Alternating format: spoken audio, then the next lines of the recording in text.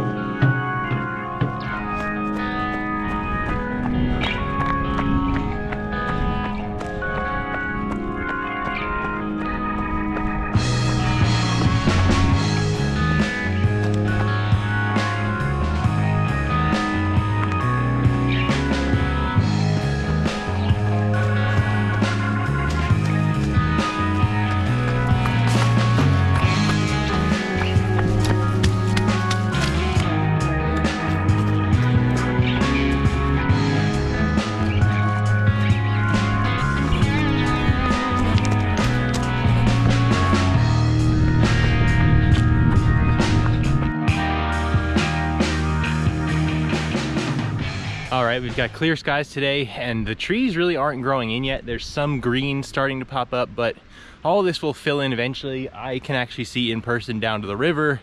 I can see up to where the main beacon lookout is up here. So lots of views for me right now, but we're kind of deep in the woods. And uh, I'm just trying to stick to what I said in the last video of keeping the first mile pretty slow, doing a lot of like speed hiking, not really even trying to run at all, just because there's a lot of climbing in the first mile, really no matter where you are in this area where I live. So again, as that translates to the half marathon, I can't get used to going out really fast in the beginning of a 13 mile mountainous race. I'm gonna burn out right away, even if the first mile feels good. So trying to get used to going slow in the first mile.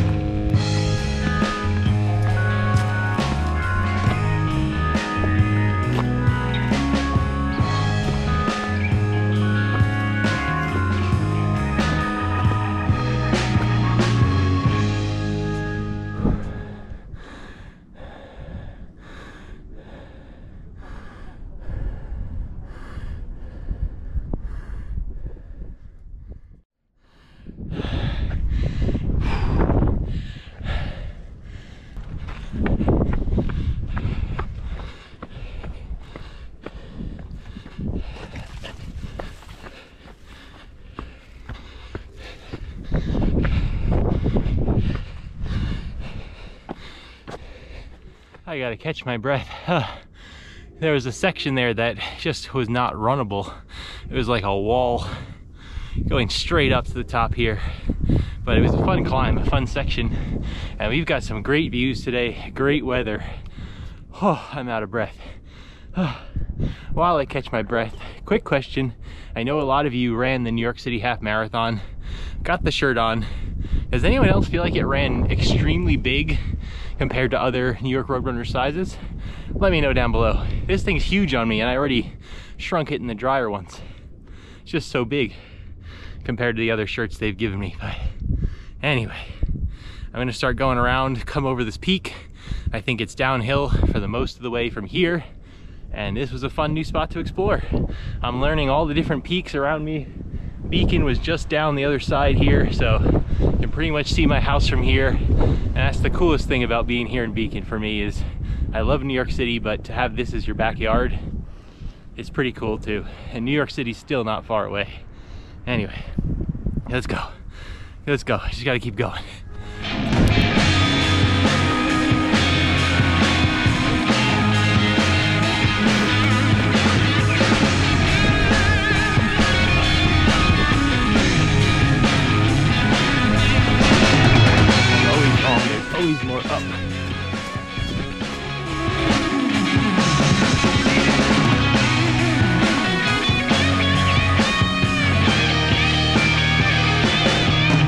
Hate this. I hate this, but I love it.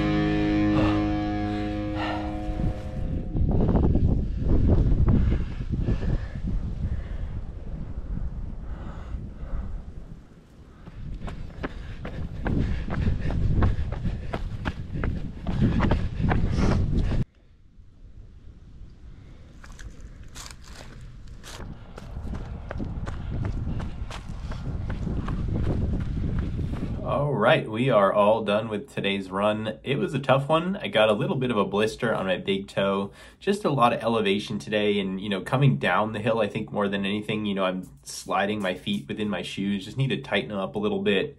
And, uh, you know, just more and more stuff I'm doing on the trails is putting more pressure on one spot on my toe where it just needs to build up a little bit of like a callus so it doesn't get a blister. It's not bad. I just feel it coming.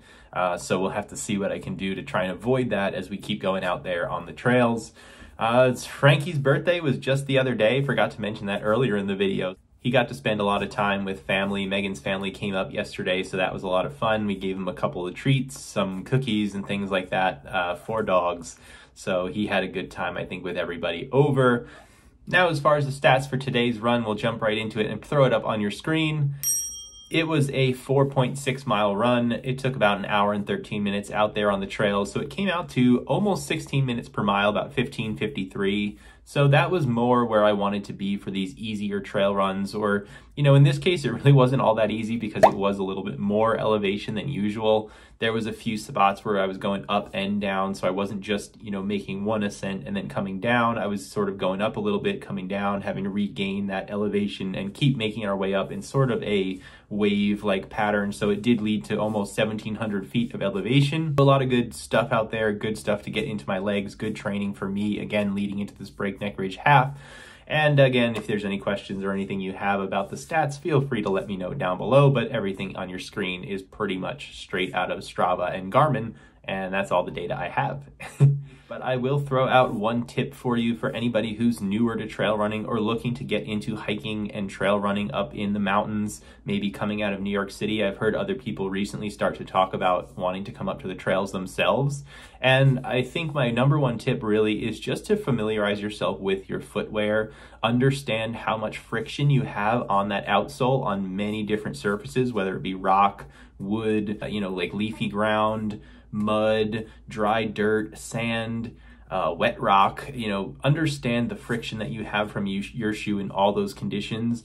You know, start with a light hike if you're not really used to the shoes at all and work your way up to running because you really need to understand how much grip you have as you start to move faster, especially on the downhill. It can be very easy to slide out and kind of fall down on your butt.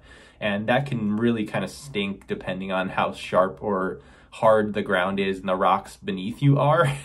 so you just need to make sure you understand how much grip you have in your shoes before you really go out there and start running, especially if you have a tough time going uphill in the beginning, you do a lot more walking, you may be encouraged to then run down the hill, but just know that that puts two things, a lot of a lot of real strain and uh, impact into your quads. You'll feel them burning the next day if you go blisteringly fast for whatever your pace is down the hill. You'll feel that pounding the next morning.